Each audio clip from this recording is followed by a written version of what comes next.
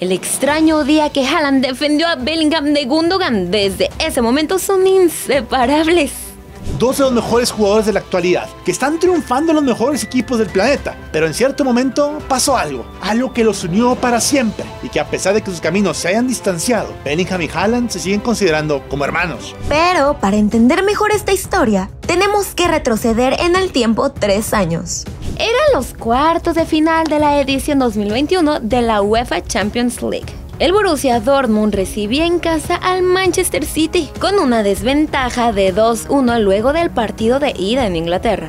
Al Dortmund le bastaba con ganar por un gol y no recibir en este encuentro, pero no recibir un gol del City es una tarea casi imposible. Igual el Dortmund claro que lo iba a intentar, y el propio Jude Bellingham ilusionó a toda la afición del Borussia con un golazo que fue inatajable para Ederson. Un Jude con tan solo 17 años está volviendo loca la defensa del City y la posibilidad de eliminar a este monstruo inglés estaba más latente que nunca. El Dortmund estaba dando un partidazo, por lo que se fue al medio tiempo con el resultado que le daría el pase a la siguiente ronda. Pero eliminar a un equipo con tanta calidad como el de Pep Guardiola no sería tan sencillo, por lo que en el minuto 50 del partido se pitó un penal en contra del conjunto alemán. No puedes darle un regalo así a un equipo como el City porque te fulmina. Emre Can regaló un penal infantil y Riyad Mahrez no perdonó. Este resultado ponía en una situación sumamente complicada a los alemanes, que pronto comenzarían a desesperarse.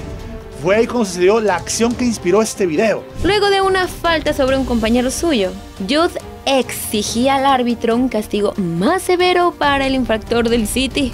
Sabía que el resultado no les favorecía y estaba indignado con la reciente entrada de su compañero. Pero entonces sus reclamos no le parecieron a un viejo lobo de mar como lo es Ilkay Gundogan. Por lo que se le fue encima el joven Jude de 17 años con toda la intención de intimidarlo. Solo que Gundogan no se esperaba que tendría que verse las caras con un monstruo. Así es, el mismísimo Erling Haaland se le puso enfrente. Y vaya que esto provocó que Gundogan le bajara dos rayitas. De inmediato el mediocampista alemán se calmó y dejó en paz a Jude.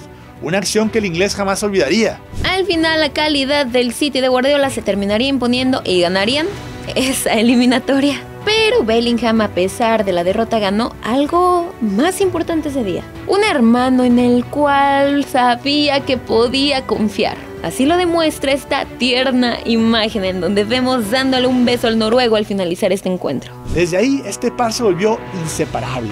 No solo formaron una dupla de miedo el tiempo que estuvieron juntos en el Dortmund, sino también que se han rendido homenajes en varias ocasiones, ya estando en otros equipos. Además de que siempre que les toca jugar en contra, podemos ver esa gran amistad que existe entre estos dos grandes cracks. Sin duda una gran historia de compañerismo y amistad dentro de este bello deporte. Y quién sabe, quizá podamos verlos jugando juntos de nuevo en algún futuro.